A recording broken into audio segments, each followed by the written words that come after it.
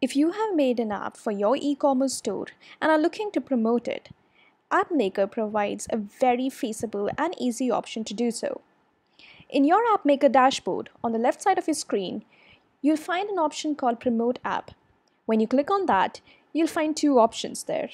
One is a smart banner and the other is an email footer.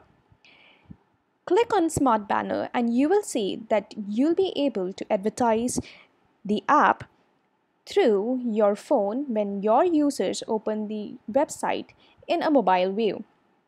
As you can see on the right side of your screen, this is how the preview of the download option for the smart banner of your app looks like.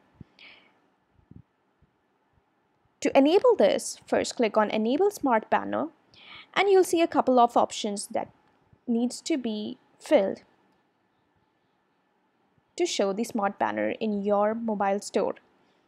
So first, put in the App Store URL for the iOS. So go to your App Store, click the link, copy paste it, and then paste it here. Similarly, do the same for your Play Store. Go to your Play Store, copy the link, and then paste it in your dashboard just like this app logo URL is mostly automatically displayed here from uh, your dashboard. Put in the title name, give a description.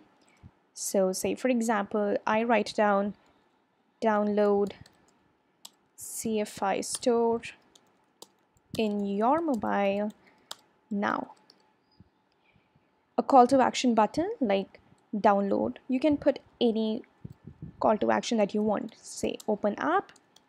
And all of this will be visible in your preview section on the right side of your screen.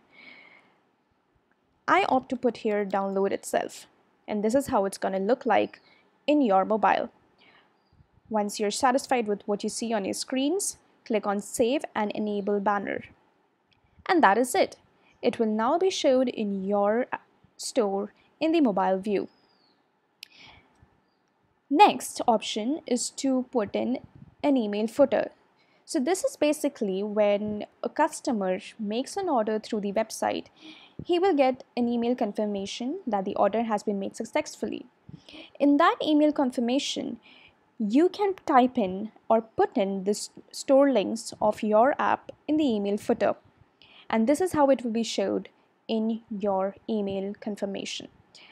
So to do that, click on enable order email footer, put in the app store URL, put in the Play Store URL, the app logo URL, the title or the app name, put in a description saying, say for example, now available on Android and iOS, and then click on save and enable.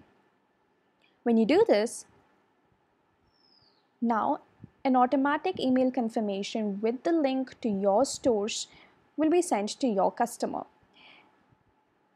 increase your user acquisition and growth of users through by using these simple links in your email banner and smart banner.